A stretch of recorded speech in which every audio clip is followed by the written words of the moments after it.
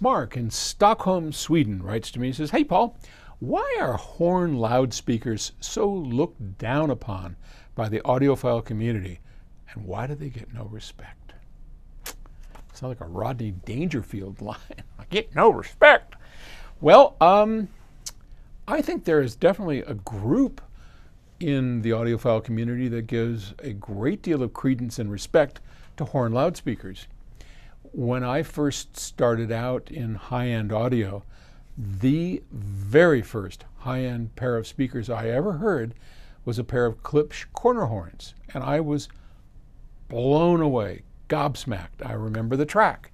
It was Edgar Winter's Frankenstein. And I'd never heard anything that dynamic in my entire life. I didn't even know dynamics existed. I had a pretty good pair of speakers. They were they were called phased arrays. They were a bunch of six and a half inch mid ranges and some tweeters or uh, woofers. I'm sorry, six and a half inch woofers. They were pretty darn good. But when I heard those JBL corner horns with an audio research system driving them, and he put on that da da da da da da da da, and the drums going, wow, I was in heaven, and that still sounds good, though I haven't heard it for years. I mean, we have much better sound now. Over the years, there's been many variations of horns. Some deservedly got bad reputations. Why? Because they sounded like horns.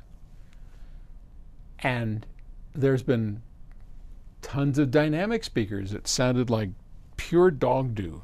I mean, just like, whoa, you call that a speaker?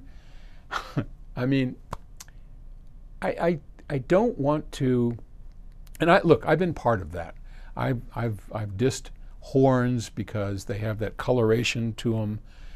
But I have heard wonderful sounding horns. And some horns people have made up for the, the colorations of the horn.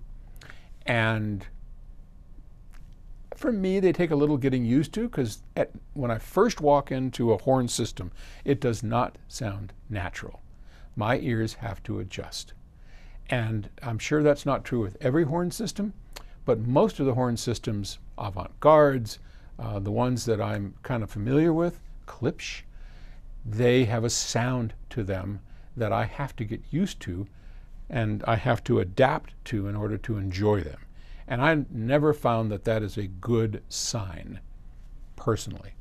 When you walk into Music Room 3 and you hear music playing on a pair of Aspen FR30 loudspeakers or the FR20s, you don't have to adapt to anything. It just sounds like music. The speakers have disappeared, they're gone, and in its place, there's music. That's simple. When I walk into a room that's playing, if I'm at a show or someone's house and they're playing horns, there is a sound to it. They don't immediately disappear, and I have to get used to it. Now, once I do, horns have a characteristic to them that is stunning and that is their ability on transients and dynamics that is nothing short of stunning.